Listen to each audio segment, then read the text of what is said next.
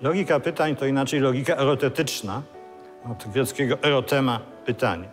Korzysta ona z pewnych pojęć zaczerpniętych z innych działów logiki, próbując charakteryzować pytania, związki pytania z odpowiedzią i wiele innych problemów pochodnych. Podstawowym zadaniem każdej logiki jest określenie jakiejś relacji wynikania. Tutaj to wynikanie jest niestandardowe, bo pytania nie są ani prawdziwe, ani fałszywe. Tutaj mamy raczej do czynienia z powstawaniem pytań, które jest eksplikowane przez pewne definicje. Co ciekawe, inferencyjna logika pytań ma też zastosowania w teorii dowodu matematycznego. Można tutaj w pewien specyficzny sposób użyć scenariuszy, o których mówiłem, ale można też sformułować pewne reguły, które przekształcają pytania, które zadaje sobie matematyk w inne pytania, aż do momentu, gdy ostatnie takie pytanie jest oczywiste. To jest tak zwany sokratyczny format tworzenia dowodu.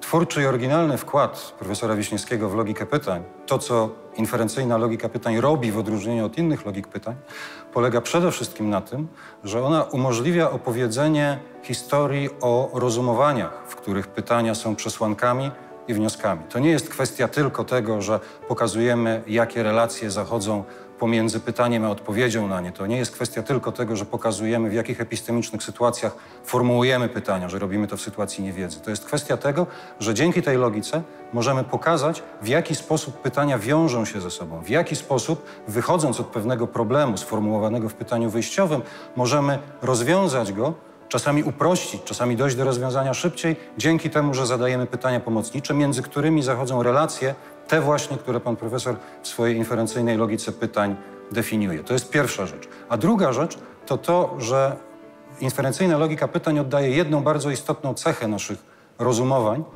nie tylko erotetycznych, ale tych przede wszystkim, a mianowicie taką, że e, my bardzo rzadko prowadzimy rozumowania od tak sobie. Bardzo rzadko, kiedy stawiamy pytania na serio, formułujemy je po prostu w przestrzeń. Zwykle, jeśli nie zawsze, jest to tak, że stawiamy pytania po to, żeby rozwiązać jakiś konkretny problem. Stawiamy je w jakimś konkretnym celu. Nasze rozumowania są nastawione na cel. I relacje, które definiuje pan profesor w inferencyjnej logice pytań, umożliwiają dokładnie to. Pokazanie, w jaki sposób to przetwarzanie informacji którym uczestniczą pytania, ma charakter celowy. Inferencyjna logika pytań znajduje szerokie spektrum zainteresowań w rozmaitych dyscyplinach.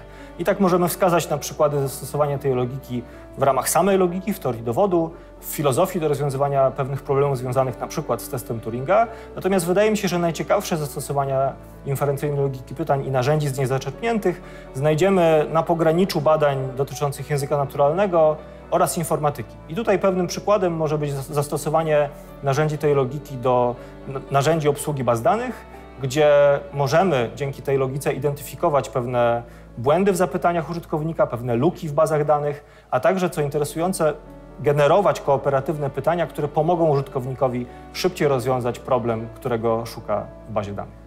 Profesor Wiśniewski jest wymagającym e, kierownikiem. E, zawsze kładzie nacisk na to, aby teorie, które przedstawiamy, miały e, intuicyjny sens i znaczenie, które jest zrozumiałe nie tylko dla logików.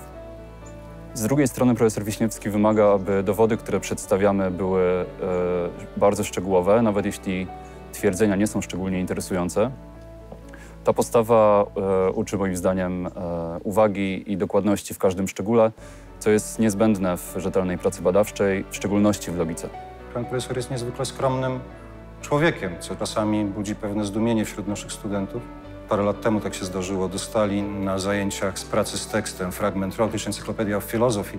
Bardzo ich zdumiało, że o jakim Wiśniewskim tam jest mowa, hasło questions. Czy to był ten Wiśniewski, ten, który nas uczy? Tak, to był właśnie ten Wiśniewski.